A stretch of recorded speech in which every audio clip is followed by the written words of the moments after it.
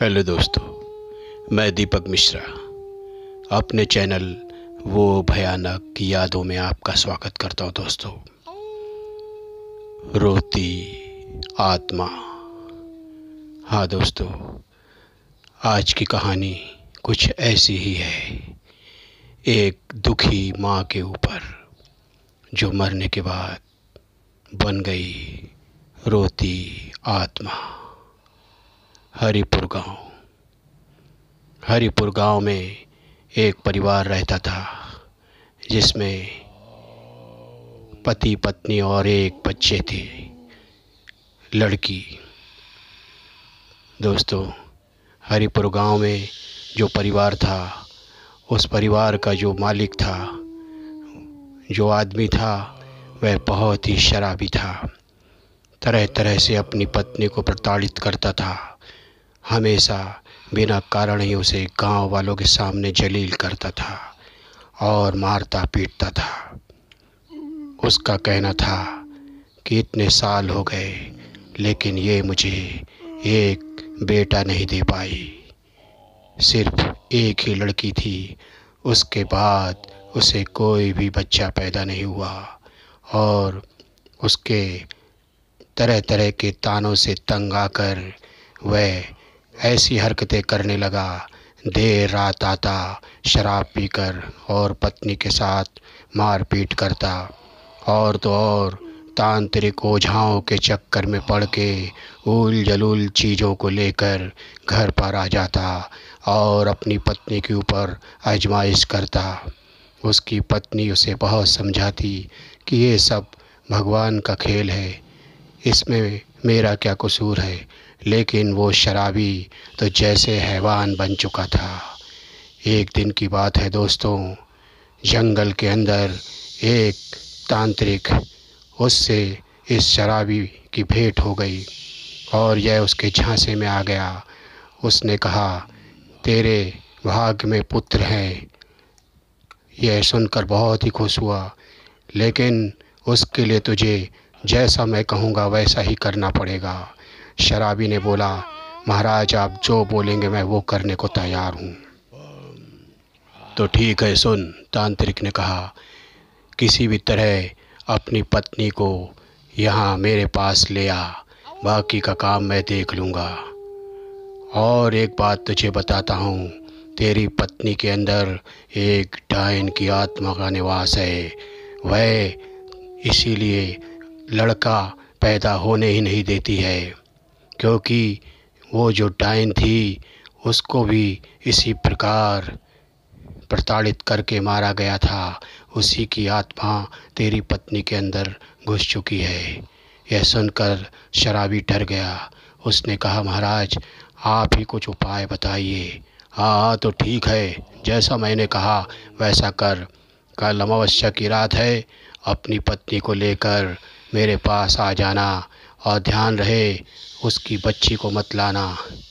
ठीक है महाराज, और आसपास देख लेना कि कोई तेरा पीछा तो नहीं कर रहा है। किसी को पता नहीं चलेगा, मैं कल ही लेकर आऊँगा। शराबी गया, घर पर बहुत ही खुश था, लेकिन एक प्रकार से उसे डर भी था कि मेरी पत्नी के अंदर इस डायन का निवास है।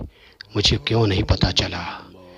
दूसरा दिन आया, शराबी ने अपनी पत्नी को बहुत ही मीठी मीठी बातों में फंसा लिया कि ठीक है, मुझे कोई नाराज़गी नहीं, बेटा नहीं तो नहीं, बेटी तो है। पत्नी बहुत ही खुश हो गई। शराबी ने कहा, आज हम दोनों कहीं घूमने चलते हैं, जंगल की सैर करने चलते हैं। पत्नी बहुत खुश हुई। बोले हाँ हम लोग ज़रूर चलेंगे। हमारी बच्ची भी बहुत खुश हो जाएगी। शराबी ने कहा, बच्ची को ले जाने की ज़रूरत नहीं है, सिर्फ़ हम दोनों चलेंगे। पत्नी बोली तो वो घर पे अकेली रहेगी? हाँ तो क्या हुआ? अब वो छोटी नहीं है, सात साल की हो चुकी है। पत्नी ने कहा, इतने दिन बाद पति ने इतने प्यार से बोला है तो जाने दो, कोई बात नहीं। पड़ोसियों के यहाँ बोला, नहीं उसे सोता रहने देना खाना पीना खिला के सुला देना। ठीक है, जैसा आपकी इच्छा। हम लोग जल्दी आ जाएँगे ना? पत्नी ने कहा हाँ बहुत जल्दी जा, आ जाएँगे। और शराबी अमावस्या की रात को ग्यारह बजे अपनी पत्नी को लेकर जंगल की तरफ़ चल गया। बहुत ही घना जंगल था। जगह जगह डरावनी आवाज़ें आ रही थीं और तभी आ गई तांत्रिक की कुटिया। पत्नी ने पूछा, ये आप कहाँ ले आए? ये तो अंधकार जंगल है। मैं तुम्हें एक महाराज के दर्शन कराने लाया हूँ, जिनके दर्शन करने से ही हमें बहुत ही खुशियाँ प्राप्त होंगी और तुम्हें पुत्र भी प्राप्त होगा, शराबी बोला। आप फिर उन्हीं बातों में आ गए। मैंने आपको समझाया था ना? अरे, मेरी बात तो सुन। महात्मा के दर्शन तो कर ले। पत्नी ने कहा, ठीक है ठीक है। आप नहीं सुधरोगे। इतनी दूर आई हूँ तो जैसा आप कहते हैं वैसा कर लेती हूँ।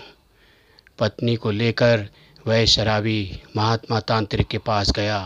तांत्रिक उस समय तंत्र विद्याएँ कर रहा था और उसकी जैसे ही हवन पूरा हुआ। उसने सामने पिंजड़े में रखे हुए कबूतर को पकड़ा और उसको छुरी से गर्दन काट के उसका खून पी लिया। यह देखकर इसकी पत्नी डर गई और उसके बाद तांत्रिक ने लाल लाल आँखें करते हुए कहा, ले आया इसे। हाँ महाराज। बैठा दे इस पटे के ऊपर, मेरे सामने से बैठा। अभी निकालता हूँ उसके अंदर से, जो प्रेत आत्मा है, जो टायन है उसे। पत्नी घबरा गई। उसने भागने की कोशिश की, लेकिन तांत्रिक के चेलों ने उसे पकड़ लिया। तांत्रिक ने कहा बाँध दो इसे इस झाड़ से। और तो दोस्तों, बाकी की कहानी अगले भाग में। अच्छी लगे तो कमेंट, लाइक, सब्सक्राइब अवश्य करें।